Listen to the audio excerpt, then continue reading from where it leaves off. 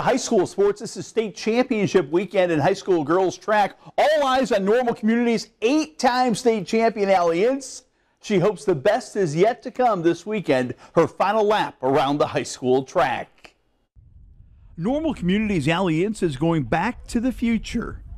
The Ironman senior is going to run the same state track final event she ran as a freshman the 800, the 1600, and the 4x400.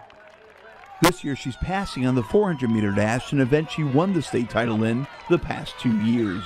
You know, I've tried to do the all four with the 4, the 16, the 8, and the 4x4, and that was really tough.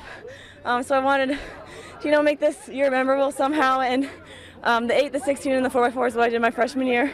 That was kind of a surreal night, and just to kind of come full circle and do that again. And I've been really enjoying the mile. Just if I can get more laps on the blue oval, might as well take it. So I'm excited to go down there and do the mile this year. Ali's getting a little emotional about her final track meet, but she sure hopes her final race is the final race of the year in state. The 4x400, there's nothing Ali loves better than carrying that baton for her high school normal community. For sure. When the baton is in your hand, I can totally attest. The open four is brutal.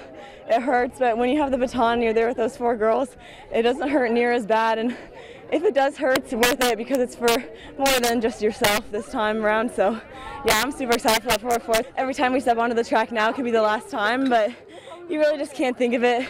And that way, you just got to go out there and race as hard as you can and be thankful for all the all the other opportunities you've gotten. The state of Illinois is expecting some victory laps from normal communities. Amazing Ali Ince.